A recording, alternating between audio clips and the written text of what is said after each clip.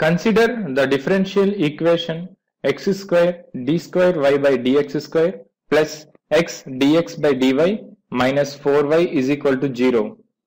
With the boundary conditions of y of 0 is equal to 0 and y of 1 is equal to 1, the complete solution of the differential equation is options are option A x square, option B sin pi x by 2, option C e power x sin pi x by 2, option D e power minus x sin pi x by 2. Now the solution is in the problem the given differential equation is x square d square y by dx square plus x dy by dx minus 4y is equal to 0 and given boundary conditions are y of 0 is equal to 0 and y of 1 is equal to 1. Now we have to find the complete solution for the given problem.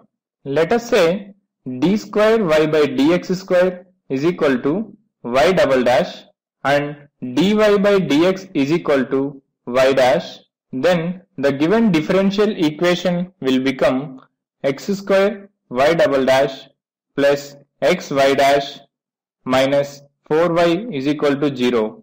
Now let us apply Euler-Cauchy equation in this case that is x square y double dash plus ax y dash plus by is equal to 0.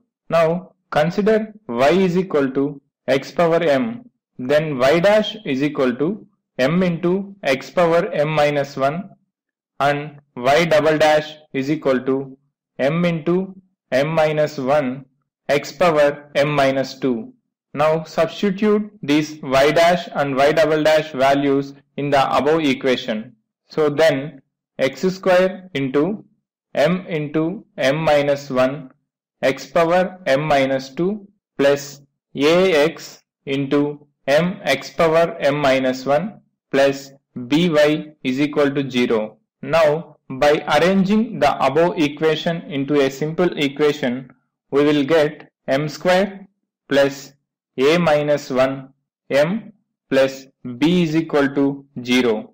But when we compare the given differential equation with Euler's Cauchy equation, we will get a is equal to 1 and b is equal to minus 4.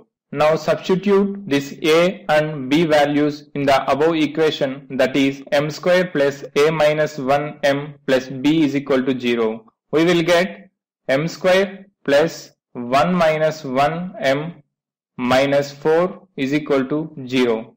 That is m square minus 4 is equal to 0. So m square is equal to 4 which implies m is equal to root of 4. So m may be plus 2 or minus 2. We know if the roots are distinct then the complete solution y is equal to c1 x power m plus c2 x power minus m. So in this problem the solution is y is equal to c1 x square plus c2 x power minus 2. Now let us apply boundary conditions in the above equation that is y of 0 is equal to 0 and y of 1 is equal to 1. When we substitute 0 in the above equation the above equation will become y of 0 is equal to c1 into 0 square plus c2 into 1 by 0 square. So c2 is equal to 0.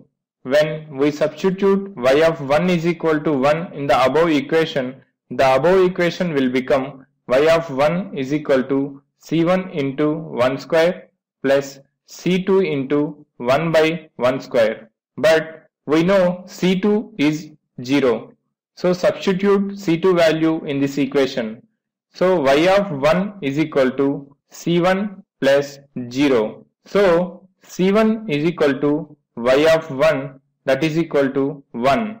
So substitute c1 and c2 values in the complete solution.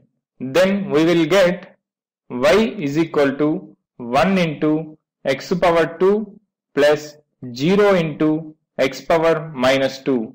So y is equal to x square. So the correct option is option A x square.